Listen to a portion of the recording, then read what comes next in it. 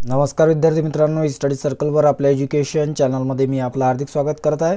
नवीन job आला नवीन नोकरी आली म्हणजे त्याचं नोटिफिकेशन जे आहे आपण आपल्या चॅनलवरती उपलब्ध करत असतो. आजचं जे नोटिफिकेशन आलेलं आहे याच्यामध्ये चारशे एकोणतीस जागा आहे आणि ही भरती होत आहे. बारावी पास जर तुम्ही असाल तर याला तुम्ही अप्लाय करू शकता.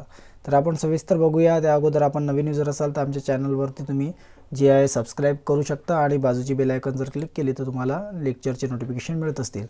तर बघा सेंट्रल इंडस्ट्रीयल सेक्युरिटी फोर्स म्हणजे सी आय एस एफमध्ये ही चारशे एकोणतीस जागाकरिता जी आहे ही भरती होत आहे. याच्यामध्ये जे पद आहे ते आहे हेड कॉन्स्टेबलचं हे पद आहे. याला शैक्षणिक पात्रता जी आहे ते बारावी पास मागितलेलं आहे किंवा त्याला इक्वेलन किंवा इंटरमिजिएट मागितलेलं आहे. एज लिमिट अठरा ते पंचवीस वर्ष आहे वीस फेब्रुवारी दोन हजार एकोणीसला. एस सी एस टीला याच्यामध्ये पाच वर्ष सूट आहे ओबीसीला याच्यामध्ये तीन वर्ष वयामध्ये सूट आहे. फी जनरल आणि ओबीसीला शंभर रुपये S C S T ex serviceman यांना फी नाही आहे. नोकरी ही संपूर्ण भारतामध्ये असणार आहे. लास्ट डेट जी आहे ती बावीस फेब्रुवारीपर्यंत तुम्ही याला अप्लाय करू शकता. सविस्तर बघण्याकरिता तुम्ही जी आय रोज नोकरी डॉट इनवरती किंवा ई स्टडी सर्कस डॉट कॉमवरती सुद्धा उपलब्ध आहे. दोन्ही ठिकाणी तुम्ही जी आहे बघू शकता. कुठल्या पण एका ठिकाणी. डिस्क्रिप्शनला लिंकसुद्धा दिलेली आहे.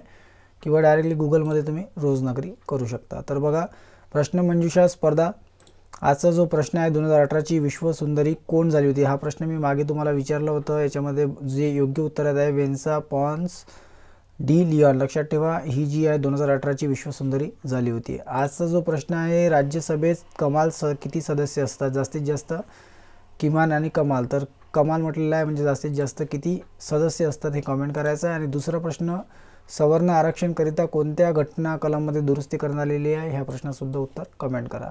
तर हे दोन महत्त्वाचे प्रश्न आपण याच्यामध्ये इन्क्लूडसुद्धा केलेले आहे.